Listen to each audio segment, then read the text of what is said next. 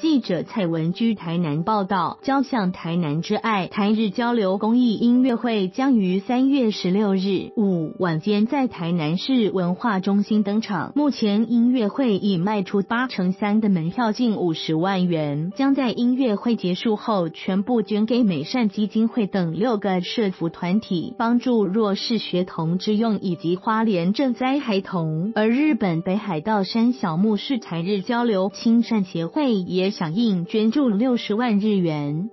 台日交流公益音乐会是由市议员蔡望全服务处、台南市青少年暨市民管弦乐团主办，这已是连续第十三年举办的公益音会。今年音乐会演出门票所得全数捐给台南的美善、立新、家福、一点瑞、妇联、新园六个社福团体的弱势学童及花莲赈灾孩童。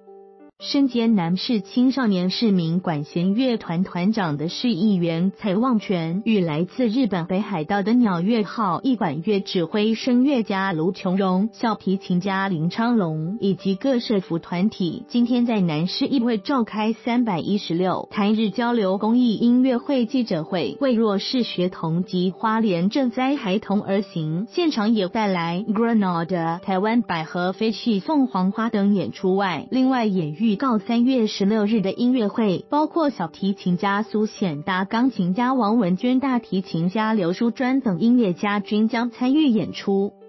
蔡望全表示，目前音乐会除了已售出八成三的门票近五十万台币将在音乐会结束后全部捐出外，他的好友鸟乐号一除了。义务来台演出，更带来了日本北海道山小木市市长的祝福及山小木台日交流亲善协会共六十万日元的捐款，一起响应捐给弱势学童，支持有意义的音乐响宴。鸟月号一说，二零一一年三百一十一日本强震时，台湾是最大的伸出援手的友人，感动了所有人。此次他也带来山小木市长岩仓博文亲笔信给蔡旺全，表达感谢及祝福。